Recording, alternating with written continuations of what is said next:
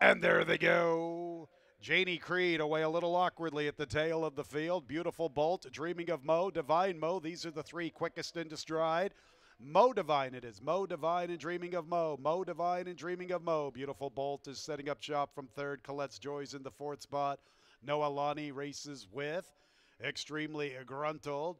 And to their outside races under advisement. Under advisement to the extreme outside with the Orange Silks four lengths off the pace. Timeless Elegance is seven lengths from the front. A length the front of Heavenly Rich, then a dollar a day.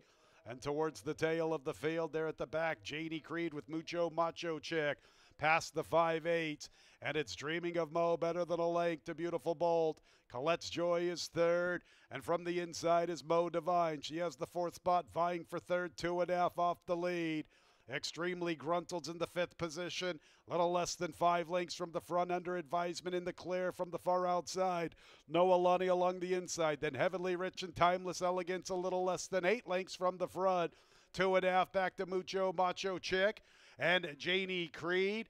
And racing with them is a dollar a day, and it's still dreaming of Mo with the lead. And Mo Divine makes her move at a big price up the inside. Noah Lonnie follows in her footsteps. Beautiful bolts under a little pressure. Then Colette's Joy under advisement. Far outside races.